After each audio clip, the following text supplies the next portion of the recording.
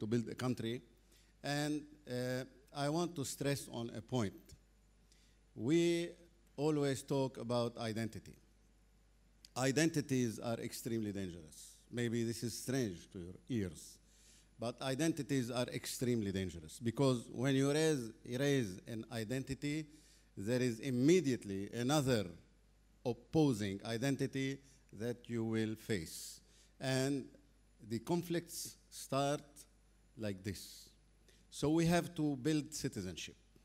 Citizenship is totally different than identity. So we may have different identities, but when we are living in a country, we are citizens. And when we deal with the state, the state that is ruling the country, state is different than the country. State is the operating system of the country. So when we deal with the state, we have to deal with the state as citizens.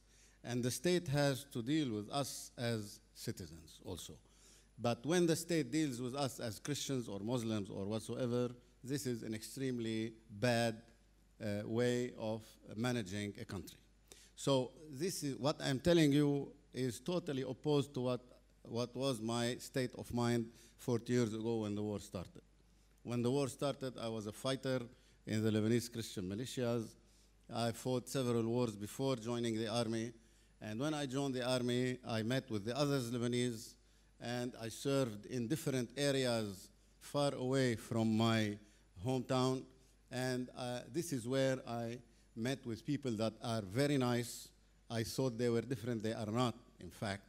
They, they were very nice, and they have exactly the same problems as I have. So this is where I started to, to understand that we have to walk side by side instead of facing each other. And this is the constructive way to build a country. So I started with this introduction because I'm not going to talk about Lebanon now. I'm going to talk of uh, uh, the area that surrounds us and that influence us extremely, extremely intense, in, extremely, in extreme intense way. So I am going to, you, what the slides you are going to see have been uh, uh, projected in Rome a few months ago, and they are still valid now. And they have been prepared by our Bureau of Research and Development. Now, we are a, a Christian foundation, and our, uh, let's say, constitution is the, exhort, uh, uh, the apostolic exhortation of Pope John Paul II, who gave this uh, apostolic exhortation in 1997, so almost uh, 19 years, and uh, almost nothing have been done in order to implement this, his, his recommendations to the Lebanese people. he was very simply saying you have to forgive each other and you have to build a real uh, uh, partnership between each other in order to build Lebanon. This was his message, very simply. It was a political message, not a, not a spiritual one. Of course, there is a spiritual basis for his message. The Vatican II, uh, uh, let's say, uh, uh, recommendations of the church in 1965, and we have a lot to do in order to implement these recommendations. So we prepared this, uh, this presentation that is titled Geopolitics of the Middle East in Present Days. And of course, I have written the Christians, but don't misunderstand me. I'm not promoting Christian identity or Christian nationalism. This is dangerous for the Christians and for the others. So, if you don't understand what is geopolitics, and I don't blame anyone because geopolitics is something that totally different from politics. Geopolitics deals with reality. It deals with real, real data, real geography, mountains, rivers, culture, people. You cannot, let's say, implement a law that is prevalent in New York State in the USA. You cannot implement the same law in, let's say, in Iraq or in Lebanon. Different mentalities, different cultures, different people. Therefore, geopolitics deals with all these elements. If you deal with the reality uh, under a, a, a, perception of geopolitics, you will be able to understand more the problems and you will be able more to solve these problems, at least to start solving these problems. So, what is the Middle East? This is the date uh, when this presentation uh, have been given in Rome by myself. We will propose a vision for the Christians at the end of this presentation. So, as I told you, we are Christians, okay. Christianity is value. Christianity is universal, okay? Christianity is not an identity at all. Christianity is to live the values taught by Jesus Christ. And these values don't tell you you have to love your enemy. And I am not giving a spiritual presentation. I have been a fighter. I have been seeing people killed. Maybe I killed people myself, I don't know. And I have seen my comrades falling, and this is the result of my own experience. Is the term of Christians of the Middle East correct? Maybe you have heard that Christians of the Middle East. Our idea is, first of all, Eastern. We have an Eastern mentality. This is not the same as the mentality of the Westerners. The Lebanese Christian is Lebanese. The Syrian Christian is Syrian. And the Iraqi Christian is Iraqi. I am much closer to the Sunni Muslim of Ras Beirut than to the Christians who is living in northern Iraq. We don't have the same culture. We don't have the same mentality. We may have the same values. Of course, we have the same values. But we don't have the same culture. I can much better build a project with a Sunni Muslim or a Druze or a Shia in Lebanon than to build a project with an Iraqi Christian. Okay? This is very important to start with. God wanted us in this part of the world for a certain purpose. I don't know what it is. But it is mainly to promote the values we have lived. We can't escape responsibility. This is why Personally, I will never retire. As far as I have a mental, uh, uh, let's say, uh, power or uh, a mental uh, uh, energy to work for Lebanon. We cannot flee. Oh, okay, the easiest solution for a Lebanese guy is to take the plane and go to Europe or to America and then say, okay, here is the best place to live. Yes, if you want a country, okay, a delivery, a country, a delivery country. It means where you need electricity, you need laws, you need water, you need housing, etc. Okay, you can go there. You don't have this here. But if you are emotionally bound to your country, fleeing is not an option.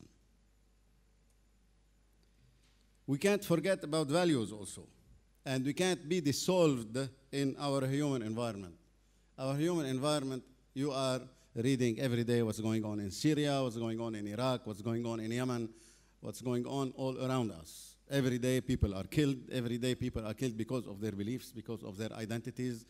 This is totally mad. Okay, uh, we, we, we, cannot, we cannot accept to be dissolved in cultures like this. So we are in, extremely, in an extremely difficult situation, and this is what stimulates me. Now, the geostrategic situation in the Middle East. Strategy means purpose. Okay? The media use the term strategy every now and then and every day. But when you talk about a strategy, these are your objectives. Your, your, big, your big objective. And you have different levels of strategies. You have a grand strategy, and then you have smaller strategies, and then you have smaller tactics in order to reach your strategy, your goals. So when I talk about a geostrategic situation, I mean, you, will, you will find totally different goals, maybe crashing, maybe in collision, maybe parallel, maybe convergent. And this is a very dynamic situation that moves every day. You have to observe the situation on a day-to-day basis in order to understand what's going on. You don't have a rule that is prevalent today that may prevail tomorrow. Tomorrow you may have another rule that prevails. Look at Russia and Iran, for example. Okay, who was thinking the past week, during the past week, the Russian bombers will uh, stop in an Ira- Iranian base in order to bomb Syria next day. This was totally out of any, any uh, provision or, or any uh, forecasting, okay? Because interests are permanent. Friends are not permanent. And you know, Lord Palmerston, Lord Palmerston, who was the Prime Minister under Queen Victoria in England, he said once, we don't have permanent friends, we don't have permanent enemies, but we have permanent interests. So we may, an enemy could turn into a friend, and a friend could turn into an enemy, but the interests are the same. So this is a situation that is very complicated and that need hours per day to follow. If you want to serve Lebanon, you have to follow these. I don't ask you to do it, but the people who are in responsibility have to do it, and they are not doing their job. Now,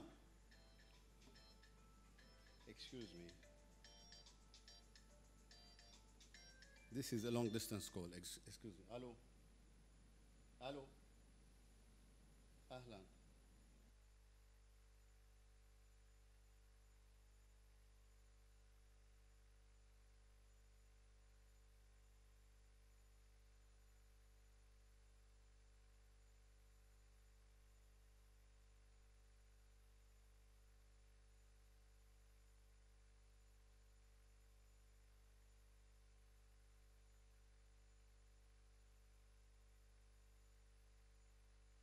Now, in geopolitics terms, or in geopolitical sciences, Christians in the Middle East do, not mean anything. We have no significance. The decision makers of the great powers and of the regional powers, when they have a situation briefing every morning, we simply do not exist in these situations. Neither in the White House, nor in the Kremlin, neither in Tehran or in Ankara or everywhere. This is a term that is a heresy in terms of geopolitics and in terms of the cold calculation of interests. Therefore, we have to stop looking to ourselves this way if we want really to serve our cause. Now, what is the Middle East? This is the Middle East.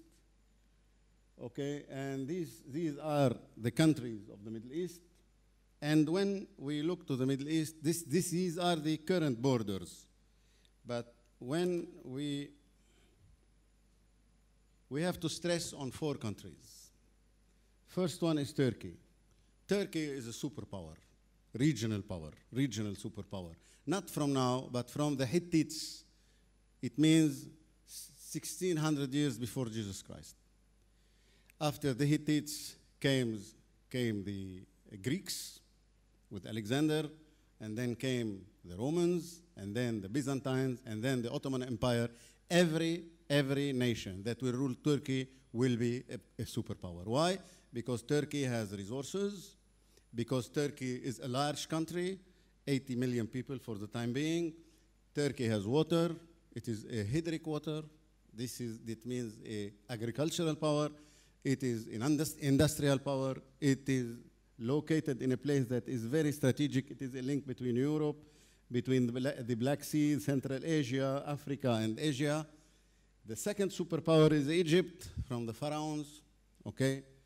The third one is Saudi Arabia, and the fourth one is Iran. These people, these countries will go, will, will, will not go anywhere. They will stay there. So if you want to project what is your future, you have to take them into account, all of them.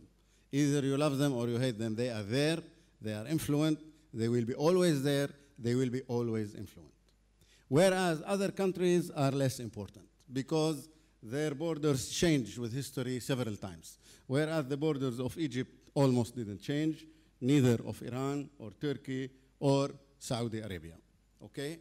And this is the first point to start with when you look to the Middle East. So these are the four countries. Now,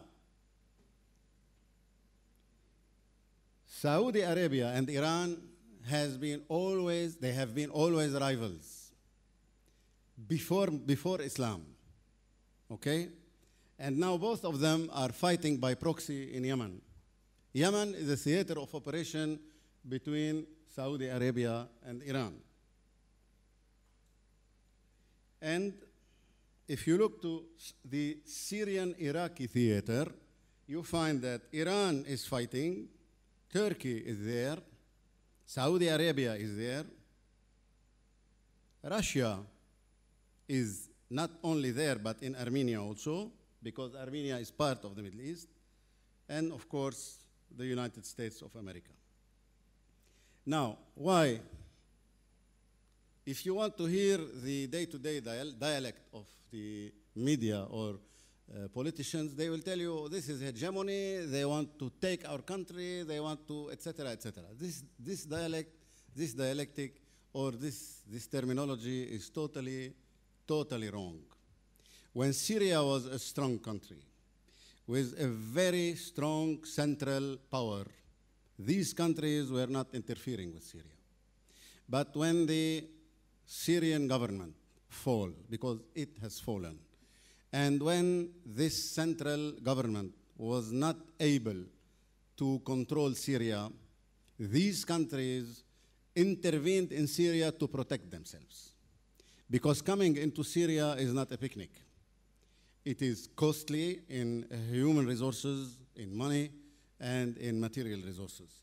So why Turkey is intervening? Because Turkey is at the borders of Syria. Because Turkey has 16 million Kurds living in Turkey. 21% of the Turkish population are Kurds. In northern Syria, you have 2 million Kurds. In northern Iraq, you have 4 to 5 million Kurds. In Iran, you have 6 million Kurds. This nation, because this is an identity, this nation, when it finds itself able to assert itself in the Middle East, it will do it. And they are doing it. And this is a national security issue in Turkey, in Iran, Iraq, and everywhere. So this is why the Turkish army was intervening in Syria, discreetly, not openly. Now they they called back their soldiers because of the failed coup in Turkey that occurred a month ago. This is the example of Turkey. In Iraq, now you will ask me why the US invaded Iraq in 2003. Very simply because Al Qaeda moved from Afghanistan to Iraq. And Saddam was not able to control Al Qaeda. More than this, he was trying to beat a deal, to bet a deal with Al Qaeda. This is in 2003. This has never been, this, ha this, has, this hasn't gone to public only in publications of serious think tanks. They talked about weapons of mass destruction. This was for public consumption. But in reality, the US, in the calculation, they, they, made very, they made wrong calculations but in their calculations, they control Iraq and they forbid Al Qaeda from moving from Afghanistan into Iraq. Remember, they invaded Afghanistan in 2001 because of the 9 11. And Al Qaeda was running, was fleeing Afghanistan in a country where the US was considered to be uh, hostile. Iraq was the preferred uh, uh, place. This is why they invaded, but they failed. Now, this is the Middle East. The Middle East is a theater of operation where strong countries are struggling against each other and where international powers are also interfering because the Syrian problem and the Iraqi problem uh, has repercussions in Europe, in the United States. Remember the uh, last uh, uh Orlando uh, assassination in the uh, nightclub, and, and so on. So it is a place that is a mess and someone has to reestablish order, but no one is putting the necessary means or the necessary resources to stabilize. Because this is difficult, it needs negotiations, and everyone has to see where is his interests in intervening. This is why it's going to take too long, and this is why people are paying. Now, not only the Christians are paying, I want just to remind you that maybe tenths of villages, of Christian villages in Syria and Iraq have been uh, displaced. Uh, they fled. Uh, maybe hundreds of Christians have been killed But I want to remind you that 200,000 Sunnis have been killed. And if you have several tenths of churches that have been destroyed, you have 1,500 mosques that have been destroyed, either by the Syrian regime or by the uh, Islamic State, ISIS. Okay? So when we speak about uh, who is right and who is wrong, we have to see with both eyes, not only one track. Okay? And we will be much more behaving as Christians when we use this kind of approach. Okay? Am I boring or. Uh, okay, any questions till now? Okay. Now, speaking about numbers of Christians in the Middle East is a wrong approach, okay? Because I told you from the first beginning, these numbers are taken from the CIA fact book. You can uh, check it on the internet. This is an open information. Everyone can see it. But okay, these numbers are not given in, uh, in a table like this. You take every country and we, we have uh, regrouped them in this uh, table. Now, if you look to uh, Lebanon, we are still in a good position. Okay? And these numbers are today, this is the CIA, okay? And these numbers are today maybe on the decline, but it is not important, okay? When you see these numbers, you really get scared. But when I behave as a Lebanese or as a, a, a Christian uh, Turk or Iraqi, and I behave as a citizen, it becomes a different story. Remember, in Iraq, they had a chief of staff General Adnan Khairallah was a Christian under Saddam. They had a foreign minister who was Tariq Hanna Aziz, a Christian, because he was behaving as an Iraqi, not as a Christian. So in Syria, we have Faris al-Khoury as uh, prime minister in the 40s and the 50s of the past century. So when we, we they have also a famous officer called Jules Jamal. Jules Jamal was a Navy officer and he drove his boat and he entered in collision with an Israeli boat and they both sank down. So he is a, considered a hero in Syria and there is the Naval Academy in Syria is named Jules Jamal Academy. So these are some examples when you behave as, an, as a, a citizen, as a patriot, you, you, you, you, your problems will be, I don't, I don't pretend that these problems will be erased, but I'm saying that these problems are going to put on the low pace, okay? Now, the rule of numbers, according to my experience, are not important. These are the countries colliding in the Middle East. We already talked about this. And our problems, current problems, in fact, they started in the 19th century. Why? because we have been ruled by the Ottoman Empire, and the Ottoman Empire was a federal state uh, by definition. How comes? Look at that.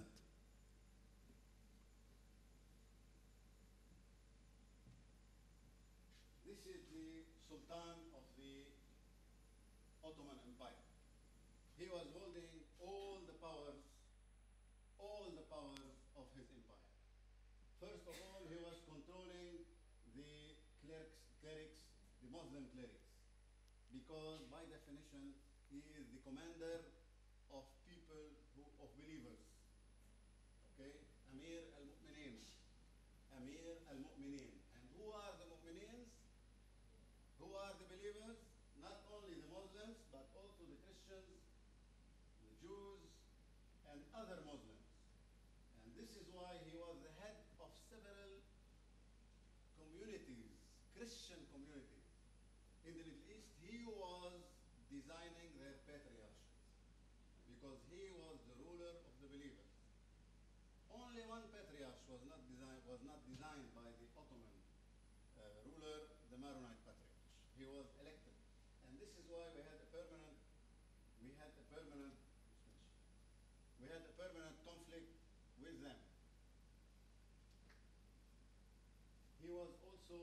the head of the uh, ministry, this is normal, and he was the head of the army, and he was the head of the, let's say, Diwan, it means the consulting committees of the empire. He was holding all the powers. Now, what, does, what did that mean for us? It means for us as Christians, Jews, or non-Muslims, that we exist, but we exist and we behave under his rule. And this is the definition of a federal state. Okay? People today, when they speak about federalism, it's a taboo. It's not a taboo because the, the Muslim states that ruled the Middle East, Ottomans, even the Arabs, they were by definition federals because they were leaving the internal, internal affairs of every community. Every community was ruling itself. They, they were, uh, th this community was paying taxes for the empire and was providing soldiers when necessary. This, is what, this was the relationship between the Christians of the Middle East and the Ottoman Empire. And let me tell you one thing. Let's take Serbia, for example. Serbia are Greek Orthodox. Okay? Their patriarch was in Moscow. When the Ottomans ruled Serbia, they designed a Serbian patriarch in order to divide the Orthodox and in order to create tensions between them and Moscow, and they succeeded. Okay? This is geopolitics. This is geopolitics. Okay? So, under the Ottoman rule, for five centuries, we have been raised in a culture of belonging to our communities. This is not wrong, but it turned into an identity. This is why today, when a Lebanese meets another Lebanese, first thing that comes in mind, even me, okay, first thing that comes in mind, I want to determine if he's Christian or Muslim. And second, I want to know if he's Shia or Sunni. And third, maybe he's Druze from somewhere. And then when I put him into this position, I put myself in another position, and we start lying to each other that we love Lebanon and that we love each other, etc. These are lies. Okay? In reality, we are not obliged to love each other to live in the same country. We follow the same rules, we, we agree on the same rules, and we follow the rules, and the problem will be diminished drastically. When we will succeed in implementing such a culture, we will succeed. And this is why our main objective for the time being is working on people's minds.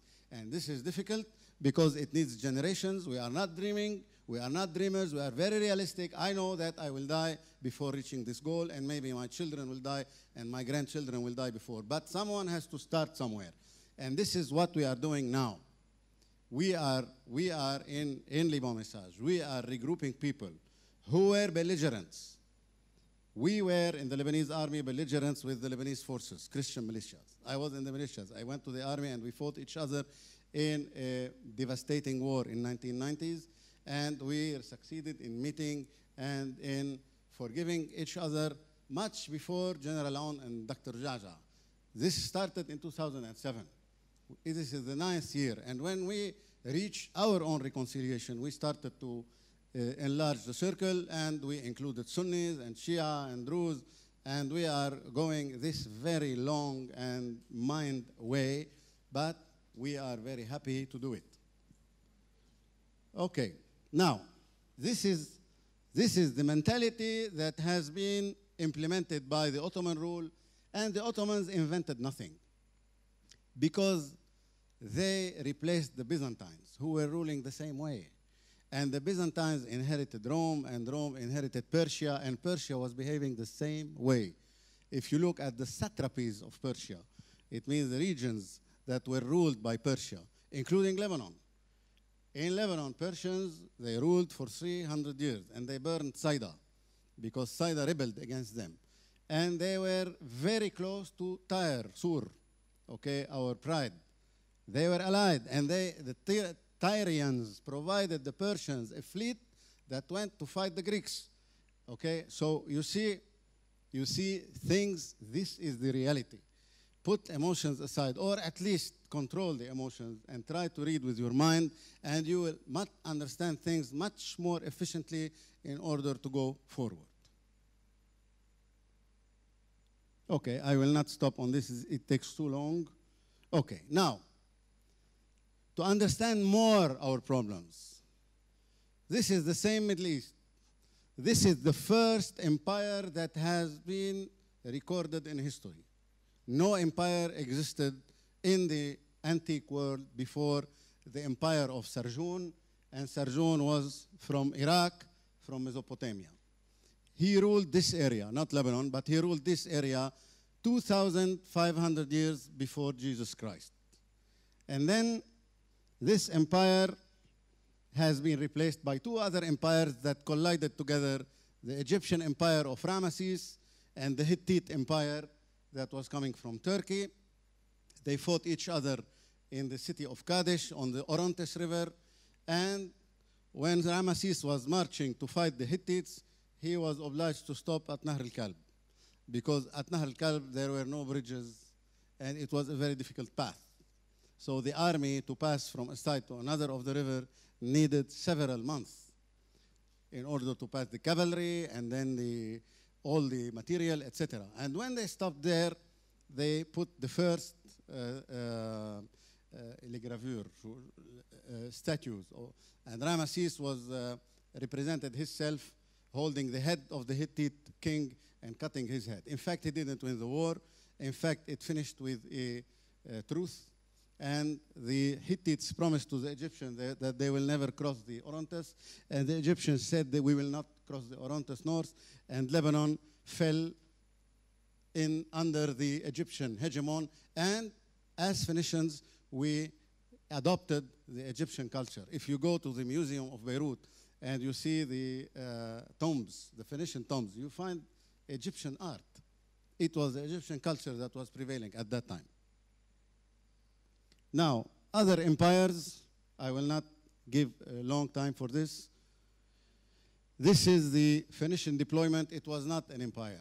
Why the Phoenicians succeeded in deploying between 1200 years and 800 years before Jesus Christ? Because something happened in the 12th century before Jesus Christ. The discovery of iron, okay. And the weapons were made, by, were, were made with bronze. And iron replaced bronze. And when iron replaced bronze, weapons became much more efficient. But they haven't been used by empires to fight other empires. They have been used inside the empires for internal fightings. So all the empires that were surrounding us, they crumbled down.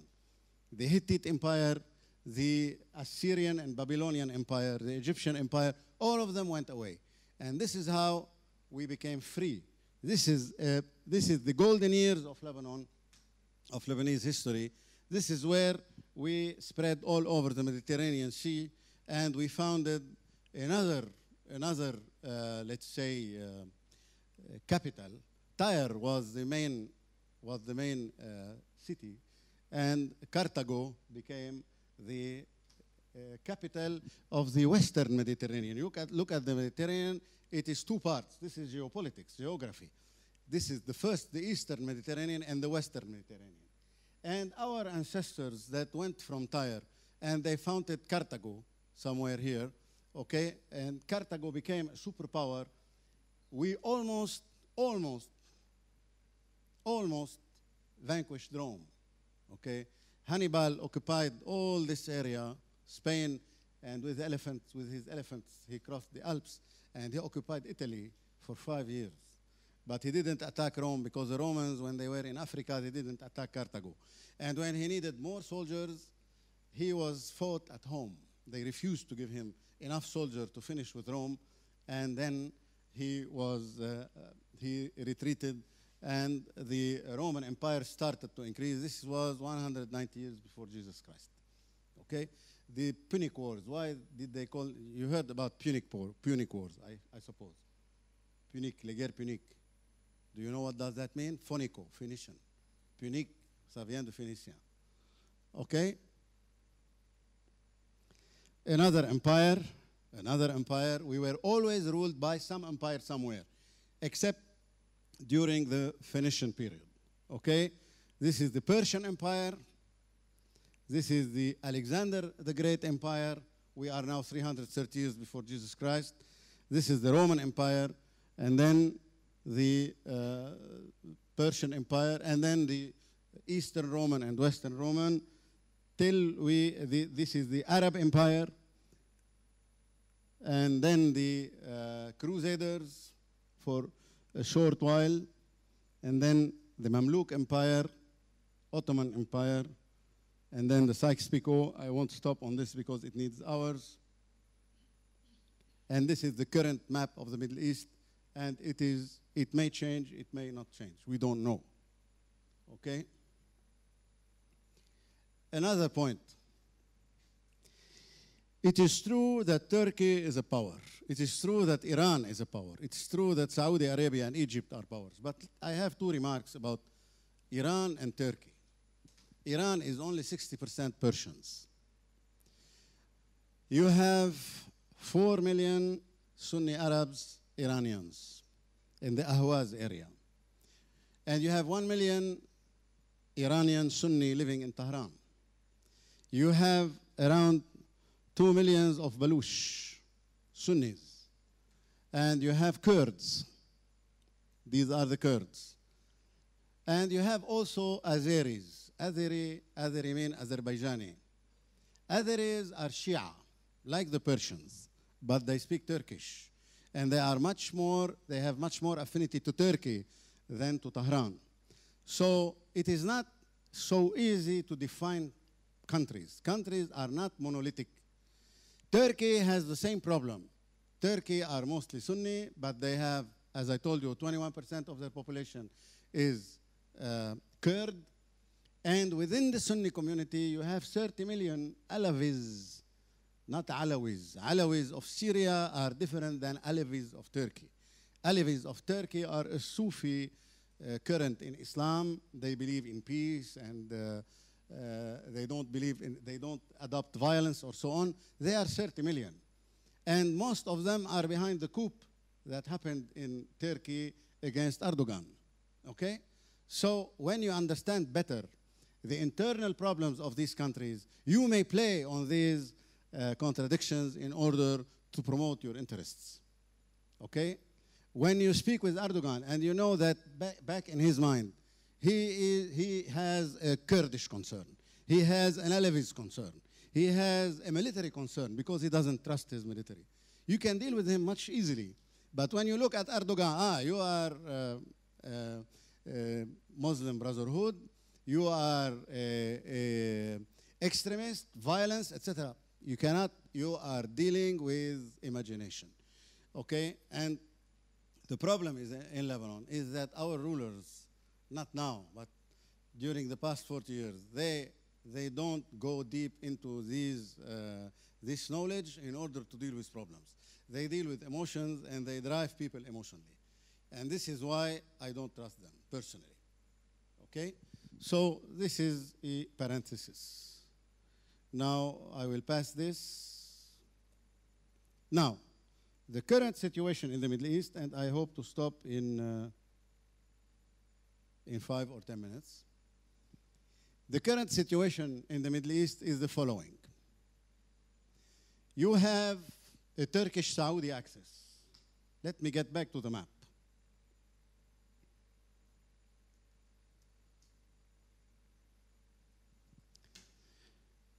Look at Saudi Arabia. It is bordered by Jordan and Iraq. The Sunni part of Iraq is there. This is the Anbar province and the Salah ad-Din province. There, are, there is a small Sunni minority in Iraq uh, here, in Diyala province. And Jordan, of course, is Sunni, and the southern Syria is Druze and Sunni. So this, the Saudi interest is there because it is their border and so on. So the Saudi influence in Syria, you find it in southern Syria, in the Free Syrian Army in southern Syria, and they reach Damascus. Whereas in Aleppo, you find that the Saudi influence is very weak, and it is rather a Turkish influence. This is geography. So in the beginning of the Syrian war, we had a cold war between Saudi Arabia, Sunni, and Turkey that is Sunni. And they were struggling to control the Sunnis of Syria. But in the beginning of 2015, they understood that if they will keep this behavior together, and that their proxies will fight against each other in Syria, and they did, they will lose facing Iran. So the Saudis mobilized their diplomacy and they operated an opening toward Ankara and they built an axis. Okay? And this axis is the Turkish Saudi axis. This is the Sunni axis in Syria. Now, the Iranian axis, I did not melt it or mix it with Russia. Despite they are today, today fighting a common battle in Aleppo. But the goals are different. I will enter into these details if you want. So, we have another axis that is the United States. Who is American here? Good. Let me define the United States from the geopolitical approach. The United States is the first GDP in the world, gross domestic product. Okay? $16 trillion per year. The three GDPs that come after the United States, if you, make, if you uh, mix them together, they are less than the GDP of the United States. The United States is 25% of the industrial production of the world. The industrial, the, the, the United States is the first hydric power in the world. This is the first, this is the basis of economy. They are the most powerful agricultural power in the world because they have water. They have the Mississippi, the Missouri, and other rivers, and they have plains, so they don't need to import food, they export food. The United States has enough resources for energy, petroleum, oil, and gas. And today in the Gulf of Mexico, they discovered a huge reserve of gas, and they will become a net exporter of oil and gas by 2020. And already since 2014, there is a decree in the United States that gives a green light to start exporting oil and gas. They were importers, they were net importers, they will become net exporters in the few coming years, and Europe will become the first consumer of American oil and American gas because they cannot, uh, they cannot uh, take this gas with, with pipelines.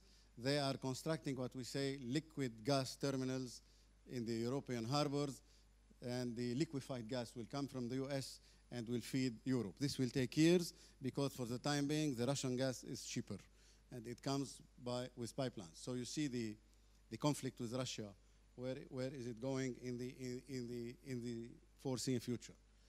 The United States controls all the oceans of the world. There is not a single sea or ocean in the world where you don't have the US Navy. So, and they may, they may interfere with every conflict in the world. They are able to project milita military powers within less than 24 hours in every single square meter of the world.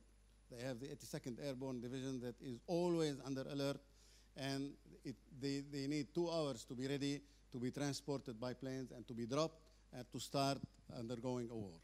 The United States is undergoing five military operations for the time being. The first one is called Inherent Resolve against ISIS in Syria and Iraq. Till now, they operated 14,500 air raids against Daesh, and uh, they destroyed 28,000 objectives, targets for Daesh. They destroyed or burned $800 million that were deposited in banks controlled by Daesh. Every three days, there is a senior officer of Daesh that is killed by air raids. They degraded Daesh drastically. But the difference between them and Putin, Putin loves TV. So uh, when, when, when uh, Russians undergo a military move, it is uh, mediated, it, is, it goes to the media with uh, cameras and, uh, and noise and so on. But what, what the US are doing, they don't mediatize it like the Russians. And this is much more efficient. Daesh already lost 40% of the soil that it, it, was controlling in Iraq, and it lost already 10% of what Daesh was controlling in Syria, but they still control 120,000 square kilometers. And the US are spending between 10 and 20 million dollars a day against Daesh, and they are not ready to spend more because they have another military operation in Afghanistan. They have 10,000 soldiers in Afghanistan. They cannot They, ca- they cannot pull back them because if they do, Daesh will control Afghanistan. The United States is deploying military power now in Eastern Europe facing Russia, in Lithuania, Latvia, Estonia, Poland, Poland, uh, sorry, Romania, etc. And these countries are now allied to the US. This is the third military operation. They are undergoing a military operation in the Pacific that is called Pacific Balance to balance China. China is building now a navy, and uh, it may threaten the alliance in the Pacific. So, uh, U.S. is mobilizing all its uh, allies, even Vietnam. In Vietnam, the U.S. lost 58,000 soldiers, and Vietnam today is allied to the U.S. facing China. And so is Philippines, Thailand, South Korea, Japan. Japan changed its, constitution to rebuild an army. In the Japanese constitution, uh, Japan was not allowed to have an army. Japan now is building an army and a navy, and it is uh, induced by the United States in order to face China. And the fifth operation that the United States are undergoing in the world is fighting Al Qaeda wherever it exists in Somalia, in Yemen, in northern Libya. Uh, the American planes are bombing uh, now in Libya against Daesh, etc. So this superpower could not be ignored, but they will never send boots on the ground in the Middle East. They retreated from Iraq in 2011, and they told us, and they told every Arab, you have to do the dirty job. I may train you, I may give you weapons, I may cover you with air power, but I will not send my boys on the ground. So you have to do the dirty job. And this is what's going on now. Now, where is the United States? Is it with the Turkish and Saudis or with the Iranian? Nowhere. They keep balance. Because when they keep balance, they are at ease. And when this balance is disrupted, it means that if Iran will prevail or if Saudi Arabia will prevail, they will threaten the United States national security. What is national security? This is the freedom of the US president to take any decision without being threatened by anyone. So this is why a balance should be kept in the Middle East, and this is where we have to be very accurate. Iran will never prevail. Saudi Arabia will never prevail because the Middle East is an area where we have 50% of the oil of the world. So no power is allowed to control this oil. It should be shared. And this is where the US plays the balance. Now, who is today backing the US against ISIS? The Kurds. They are taking advantage and they are trying to promote their own objectives. But I don't think they will succeed. They will maybe succeed in having a small autonomy, but never uh, an independence. And Russia, of course, today is noisy, very noisy. Putin is trying to show to the world that he is a superpower. Russia lost its position as a superpower since 1990. It is no more a superpower. Russia cannot interfere in South America, the US can. Russia cannot interfere in Europe, whereas the US can interfere.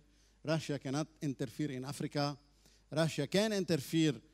Russia has problems with, with, with Eastern Europe. Russia is using Syria today as a leverage in order to increase the mess, in order to, to increase the attention of the United States towards Syria, and to take this attention out of Europe of the Operation Atlantic Resolve that is undergoing, that is underway in Europe. So this is the big picture, and I think that I have consumed all my time. Now, uh, we still have maybe 15 minutes for questions if you want. I'm sorry, I have a lot more to say, but I think that uh, the, it's very dense. So let's, cafe? I have no problem, but any questions so far? Okay, but if there are questions, let's, let's give the opportunity for questions. No questions? Are you sure you are following everything I'm saying? Who is not interested?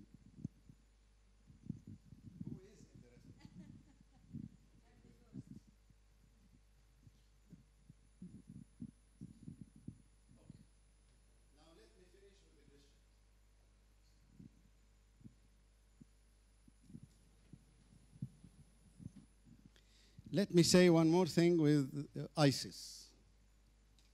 ISIS takes advantage of conflicts.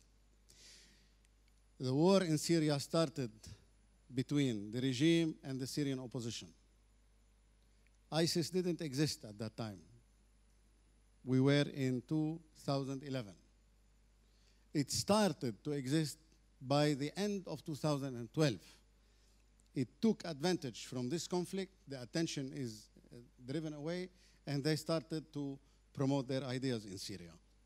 So every time you see that the conflict is uh, peaking between the Syrian regime and the opposition, you will see ISIS striking somewhere.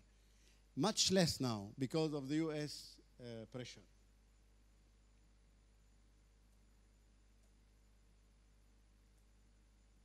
Now, to finish with the Christians. Is the Middle East heading toward a new map? In my opinion, no. Because the management of a new map is extremely difficult for the superpowers and they don't want to deal with new problems. Okay? So maybe we are going to a sort of federalism.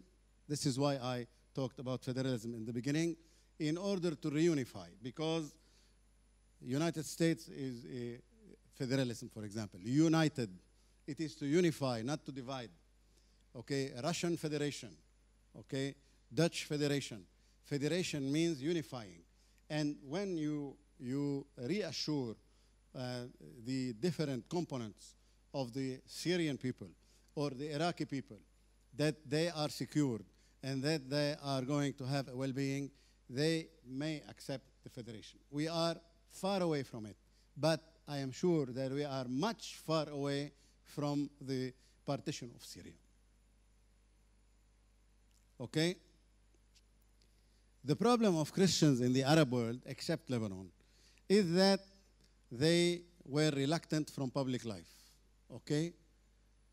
This occurred during the past 60 years. They simply retired from public life, considering that they were a minority, etc. It's not only their fault, it's the fault of the Muslims also, because they put them aside, but they didn't try. What did Jean Paul II said in his exhort, uh, apostolic exhortation? What did Benoit says, uh, Benedict XVI said in his apostolic exhortation for the Christians of the Middle East? You have to exist on the political chessboard. To exist, you have to be active. You don't have to be discreet. You have to participate. You have to try to solve the problems of your country with partnership with your uh, Muslim peers. This is the only way to survive and to continue surviving and to promote our values. Okay? This should not be an option from now on, the reluctance. A Christian has no option but to contribute to public life and to politics if possible. And public life starts not necessarily with politics it's not necessary for you or me to be MPs or ministers, but at least to public, to, to, to participate in every social work or because social work is politics also. Demographic criterion is not an argument to justify reluctance, okay? Especially in Lebanon, because we are trying, we are starting to hear, we became a minority, we have no future, etc. This is, uh, I hate this kind of speech. And usually when I'm present and someone starts talking like this, I cut it down very aggressively. Okay? I just want to remind you something. During the Mamluk Empire,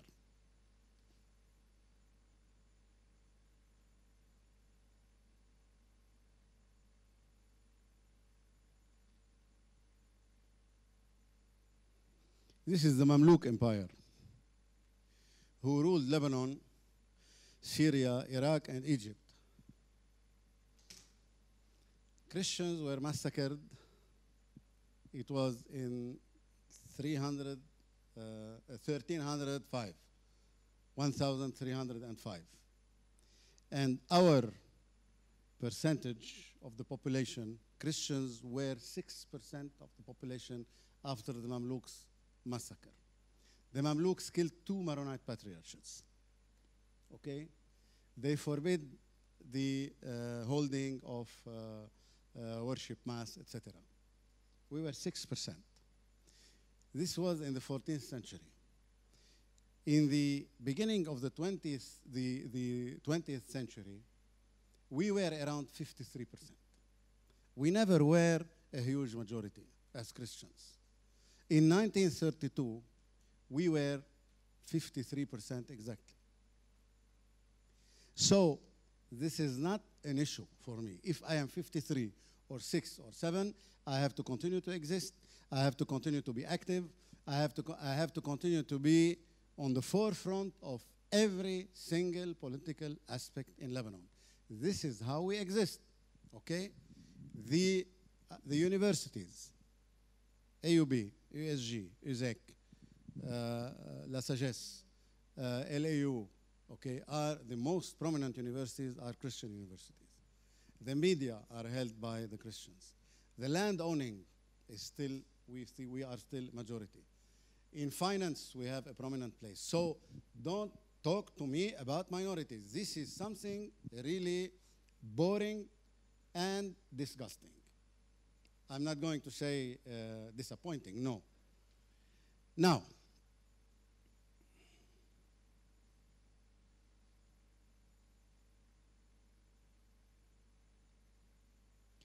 the Druze, for example, in Lebanon, they are only 5% of the population.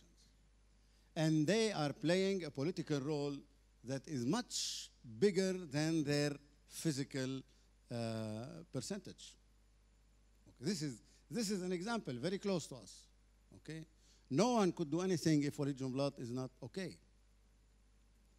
Alawites in Syria, they are less than 2 millions. I'm not promoting Uh, the fact to, to oppress the others, not at all. I'm talking about political rule. The Kurds in Syria. The problem of Syrian Christians is that they are keeping in the shadow of the Alawites. If you ask any cleric, any Christian, politician or not, what is your vision for the future of Syria? The Kurds, they have a vision. They want their own homeland within a Syrian federation. The Alawites, if they continue, if they can continue to rule all Syria, they will, they will do it. If they can't, they will go for sharing power, not federal, federalism, a share power. The Druze, till now, they didn't reveal it, but they prefer federalism. If you ask the Christians, they have no options. If you ask the Sunnis, they have three options for Syria. The Saudi model is one option, the Turkish model is a second option, and a secular state is the third option. Sunnis are very divided for the future of Syria. The Christians simply don't have options. When you ask them, they tell you oh, Bashar is protecting us, and that's all. This is very bad. It means you don't exist. Christians are in Syria, they were in the beginning of the century, they were 20% of Syria. Today, on the paper, they are less than 10%. Okay? But they, they are more numerous than the Alawites. They are 2.7 million. Alawites are 1.7 million. This is unacceptable for a Christian. You can't be a Christian and don't deal with politics. It is your duty to deal with politics. And the definition of politics is a noble art to serve the public interest. It is not a struggle of influence. Okay? خلاص? Okay. Okay.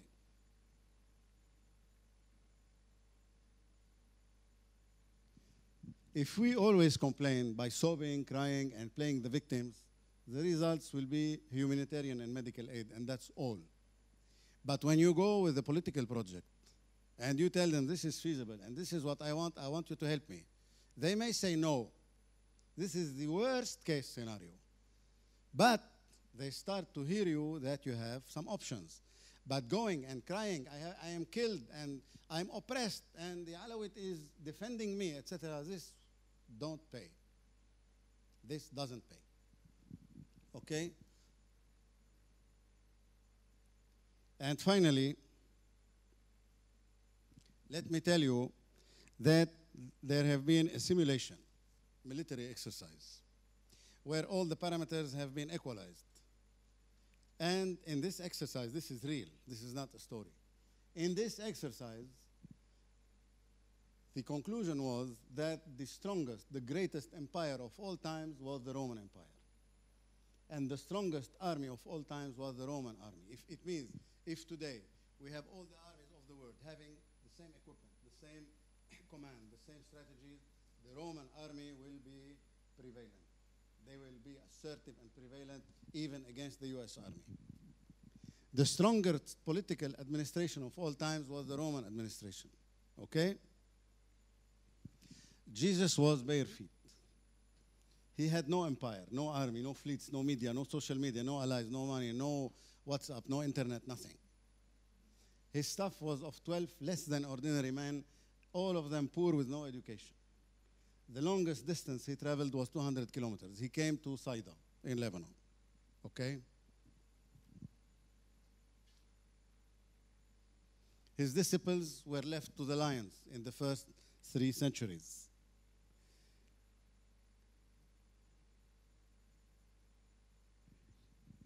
Rome finally submitted to him from within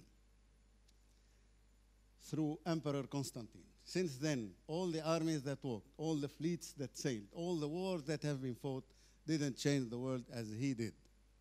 And the course of history has really changed. Okay? So this means that our role as Christians is not military, is not muscles, it is brain, values, and intelligent emotion. Okay? Thank you.